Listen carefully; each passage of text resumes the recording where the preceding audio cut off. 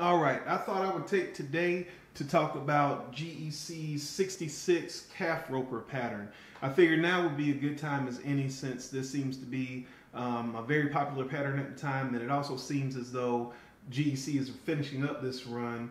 Um, they dropped the blue camel bone for Knives Ship Free yesterday and I see that the stag is already shipping out. To the best of my knowledge, those were the last two cover types that needed to be released. So I'm going to kind of walk through the, the history of the pattern with GEC specifically. I'm not going to walk through the long-term history. I don't I don't know enough about this pattern to do that.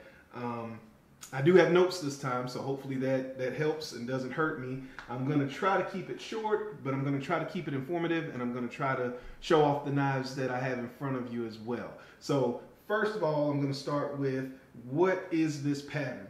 This pattern is referred to as a 66 equal end serpentine pattern. So you can see here that it's the same on each end, so it's equal end ended. And then I think you can see here that it kind of dips in and comes back out here. So it comes out here and it dips back in. So that's the the serpentine part of the pattern. And I think you can kind of see that. All right.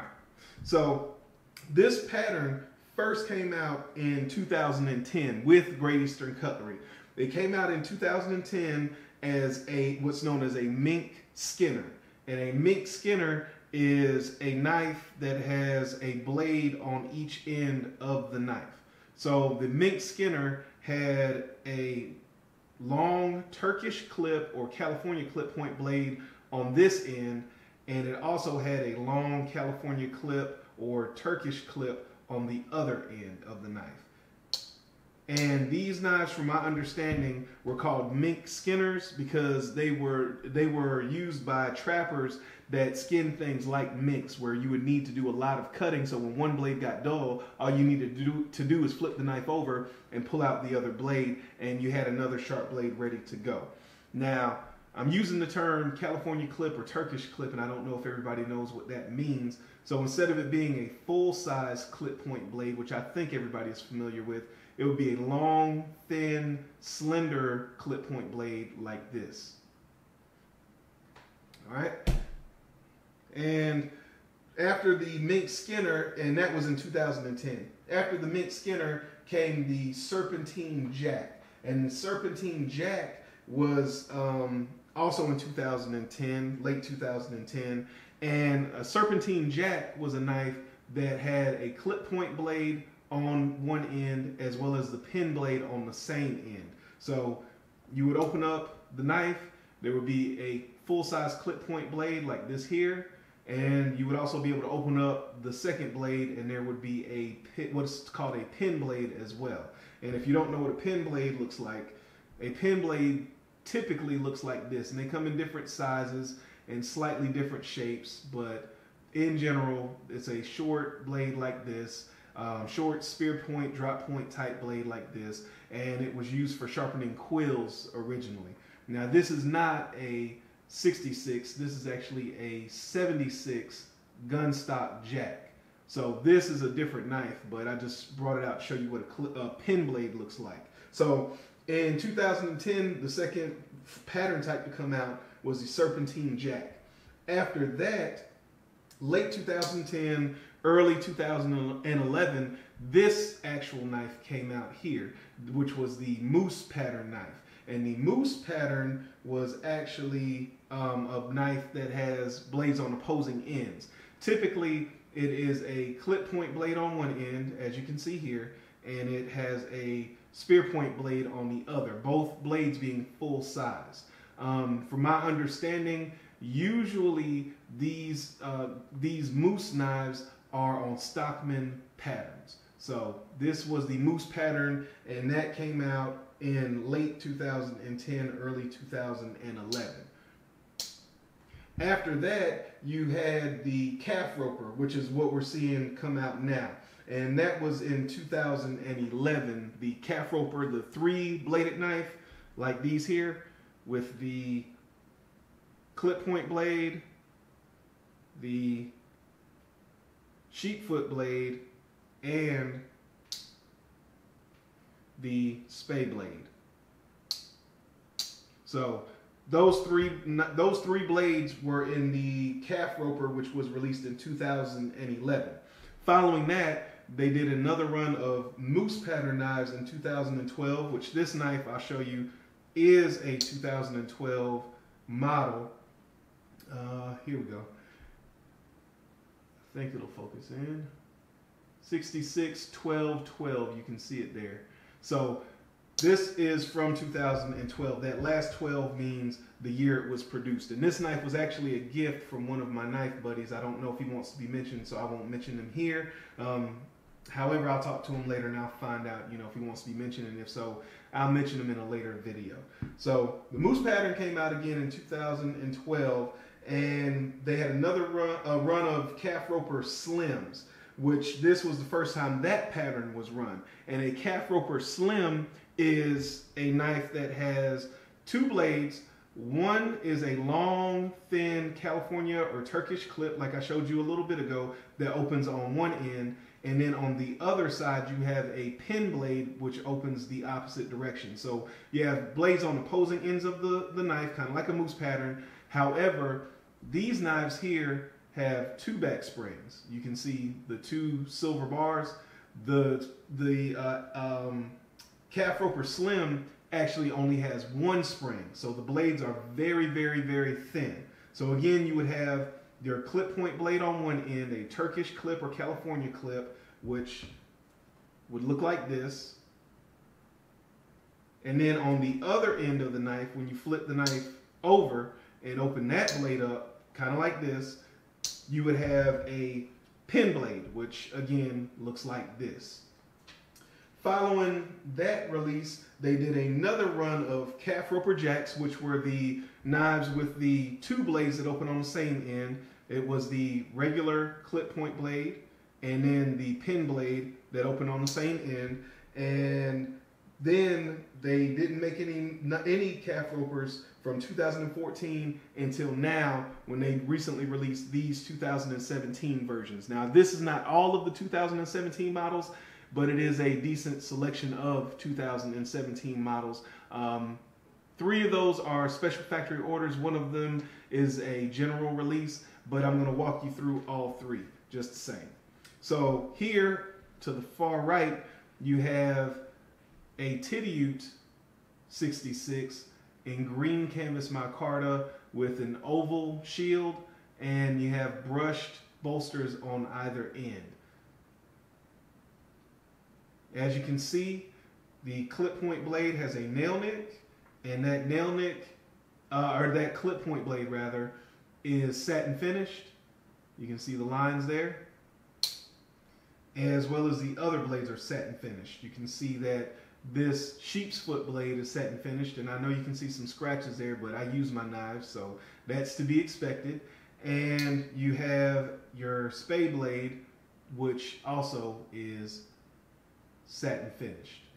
Um, I'm gonna I'm gonna talk about something real quick. I'm gonna deviate. Um, here, I know that if you know anything about multi-bladed knives, you're probably cringing a little bit if you're more of a collector than a user but I just told you I'm a user, so I'm not too concerned about it.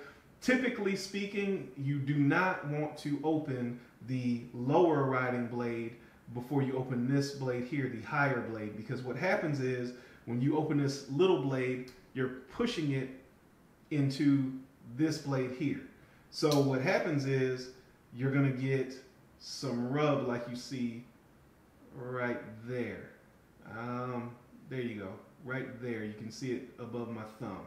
Now, I'm a user, so I'm not too concerned about that, but that's just a little something to keep in mind. If you don't want your blades to rub, what you would do is you would open up this larger blade here, the higher riding blade here, and then you would open up the shorter blade here, the lower riding blade here.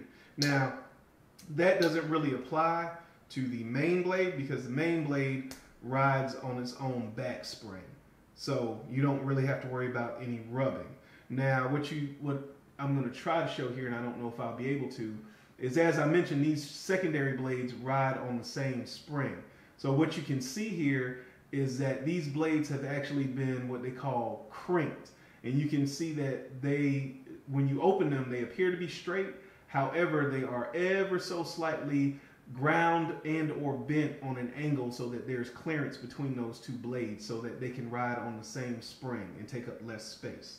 So that's just a, a little uh, neat thing that they do on traditional knives. Again, they do all this, GEC does all this on machines that are 100 plus years old. So I think that's something that we take for granted when we look at these knives and sometimes we even dismiss them as old men knives. These knives have some better, some of the better tolerances than even modern knives made on modern equipment. Um, but I'll get back to the knives. So here, this knife is in peach seed jigged bone. As you can see, it looks like a peach seed, and the color is dark chestnut. Now, this knife is a special factory order for Smoky Mountain Knife Works. Um, you can see they chose to go with a propeller shield, which um, another company decided to go with that as well. They have the lined or ringed bolsters, and they're also pinched, so you can see a little divot there. These are polished, they're not satin finished. The main blade is still a clip point. You can see it has a long pull, but the blade is still satin finished.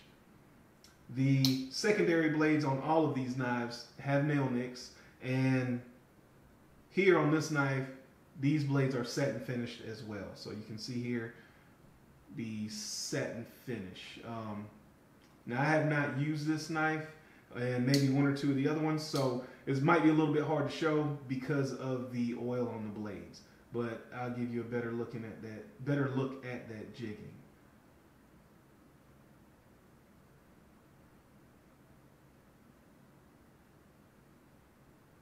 There you go. Um, here, this knife, and this is one of my favorites. This is a special factory order by the Knife Connection, and this knife is done in desert ironwood. Um, now, I don't know a lot about desert ironwood, but what I do know is that you can't just go into the desert and cut down an ironwood tree and bring the wood out. Apparently, there are rules and regulations on um, gaining access to this ironwood. So it is a a I don't know if it's an endangered species, but it's a species that is uh, limited. So that's why you don't see it used on a ton of knives. Um, this is one of my favorite 66s, and this would have to be one of my favorite cover types. I don't know how well it's coming across in video, but this wood just comes alive when it shines in the light. And you can see it there. It's just it's just very very very nice looking wood. Um, here, these bolsters do not have rings or lines. However, they are polished. You can see they're polished. Again, propeller shield, which is also polished. Um, main blade has a nail nick. The main blade is satin finished. You can see here the Wharncliffe blade satin finished. And same thing with the spay blade, satin finished.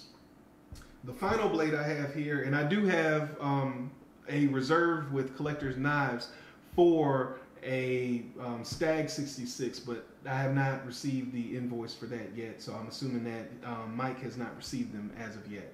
This here is a special factory order by DLT Trading and this is Smooth Autumn Gold Bone. Um, there was a pretty fair variation in these.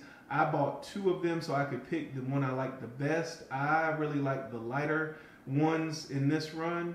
You can see the front, the uh, show side is um, very light. The back is fairly light. There's a little more color. However, with time that'll fade. Um, now DLT Trading, they always use the oak leaf shield on their special factory orders. So you can see the oak leaf here.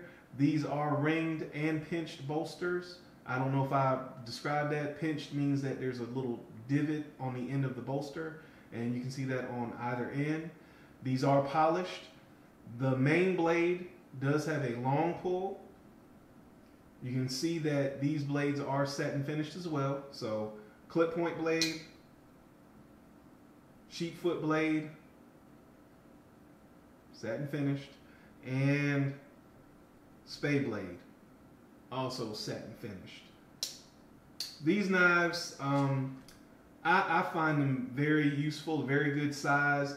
Um, I know that some people don't prefer multiple bladed knives. I did not prefer multi-bladed knives when I began collecting traditional knives either. However, over time, I did um, come to find find myself liking more multi-bladed knives.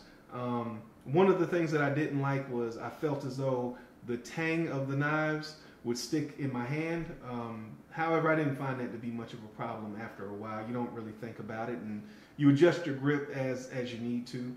Um, I also know that these knives have been very sought after uh, lately. Um, there are still some places with these in stock. You, I don't believe you can buy these anymore from DLT Trading. I believe that there are some more of these at Smoky Mountain Knife Works. You have to call in. I don't believe they're listed on the website.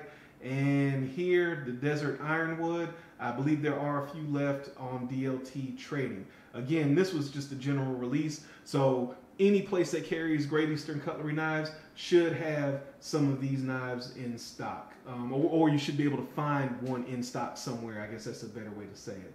So I hope this video was informative. I appreciate you guys watching. Um, thank you, and I'll catch you on the next one.